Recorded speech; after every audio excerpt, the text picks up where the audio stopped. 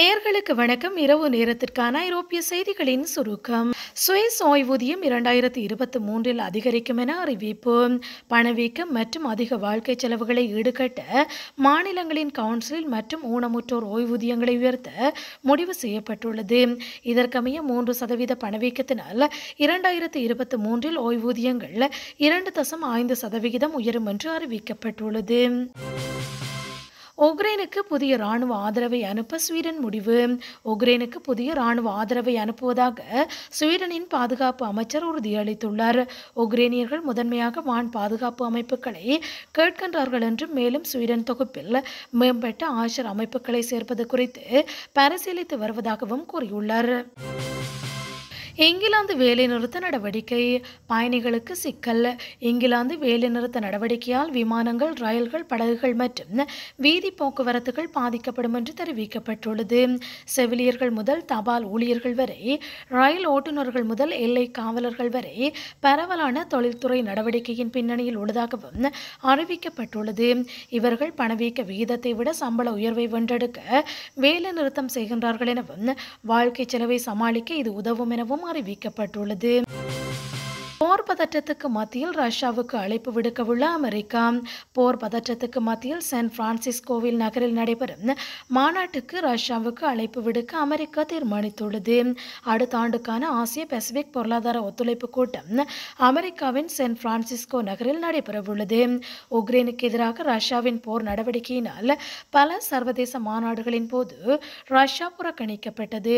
இந்நிலையில் ஆசிய பசிபிக் பொருளாதார ஒத்துழைப்பு கூட்டத்துக்கு இந்தியாவை அழைப்பதன் மூலம் உறுப்பு நாடுகளுக்கு அமெரிக்கா ஒரு நல்ல வழிகாட்டியாக செயல்பட முனைவதாகவும் மூத்த அதிகாரி ஒருவர் தெரிவித்துள்ளார். நார்வேயில் காய்ச்சல் தடுப்பூசி போடப்பட்டவர்களுக்கு விடுக்கப்பட்டுள்ள எச்சரிக்கை. நாவையில் காய்ச்சல் தடுப்பூசி போடப்பட்டவர்கள் அதிக அளவு நோய்வாய்ப்படலாம் என்று அறிவிக்கப்பட்டுள்ளது. Norwegian institute of public health influenza தடுப்பூசி திட்டத்தின் தலைவர் இதனை கூறியுள்ளார். இதேவேளை காய்ச்சலுக்கு எதிராக தடுப்பூசி போடுவது முக்கியம் என்றும் அவர் வலியுறுத்தியுள்ளார். இத்தாலியில் கோவிட் தடுப்பூசி தொடர்பில் வெளியான அறிவிப்பு. இத்தாலியின் அரசியலமைப்பு நீதிமன்றம் கோவிட் தடுப்பூசி ஆணையினை உறுதிப்படுத்தியுள்ளது. சுகாதார தரங்களில் உள்ள பிராந்திய வேறுபாடுகள் நாட்டை தொடர்ந்து பாதிப்பதாகவும் தடுப்பூசி செலுத்தாதவர்களுக்கு அபராதம் விதிக்கப்படும் என்றும் அறிவித்துள்ளது. இதற்கமைய கடந்த காலத்தின் தெற்கு வடக்கு சுகாதார இடைவெளி கணிசமாக குறைக்கப்பட்டுள்ளதாகவும் தெரிவிக்கப்பட்டுள்ளது. டென்மார்க்கில் வசிக்கும் பிரித்தானிய குடிமக்களுக்கு முக்கிய அறிவிப்பு. இரண்டாயிரத்தி இருபத்தொன்றிலிருந்து டென்மார்க்கில் வசிக்கும் பிரித்தானிய குடிமக்கள் இந்த ஆண்டின் இறுதிக்குள் புதிய குடியிருப்பு அனுமதிக்கு விண்ணப்பிக்க வேண்டும் என்று அறிவுறுத்தப்பட்டுள்ளது.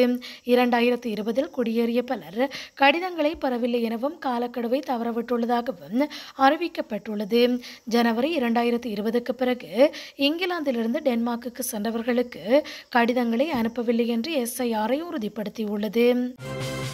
பிரான்சின் பல பகுதிகளுக்கு சம்மஞ்சள் எச்சரிக்கை. பிரான்சின் பன்னிரண்டு பகுதிகளுக்கு பனிப்பொழிவு மற்றும் பனி தொடர்பில் ஆரஞ்ச் எச்சரிக்கை விடுக்கப்பட்டுள்ளது. குறிப்பாக வடமேற்கு மற்றும் முழு கிழக்கு பகுதிகளுக்கும் இந்த எச்சரிக்கை விடுக்கப்பட்டுள்ளது.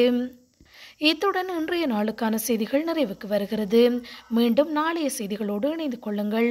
வணக்கம்.